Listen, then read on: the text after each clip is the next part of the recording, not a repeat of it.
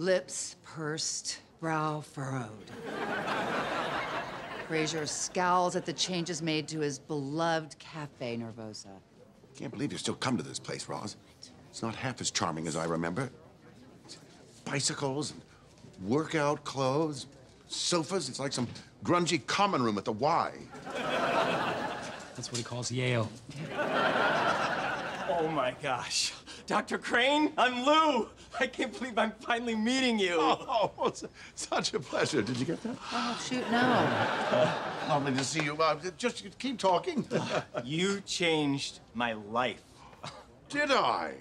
You told me to follow my dreams, so I quit my job and I dedicated my life to magic. Sorry, that was supposed to. Oh, there she goes. Okay. So, uh, how's, how's the magic working out for you?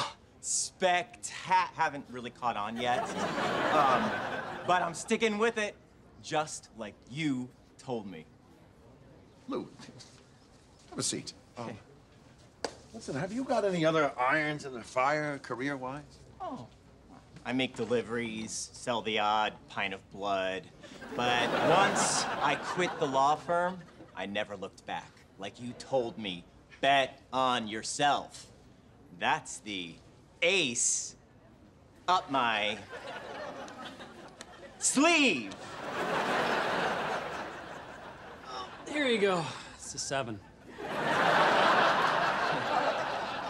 You showed faith in me, my wife never did. We're divorced now. Oh, Lou, I, I, I'm sorry. Oh, it's fine. It's fine. You know, I, I gotta go, but, uh, you know, she remarried a great guy. Yeah, such a prankster. He's always put me in a headlock to amuse my kids. Well, my, in quotes, it turns out. Ah! What happened? Sorry. Clocks scare me. Anywho, that graveyard's not gonna mow itself. so darn nice to meet you.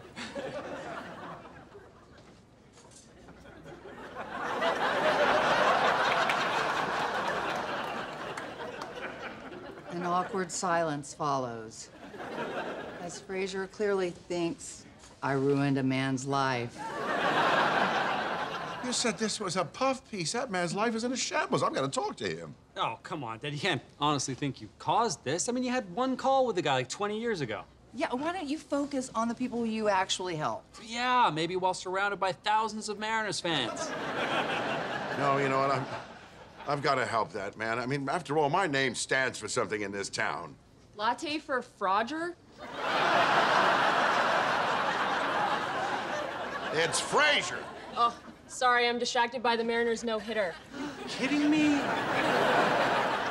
Roz, please. Freddie has to know that I really did help people here. Call Lou back. Get him back here. And if you can, just ask him if he may have left this behind.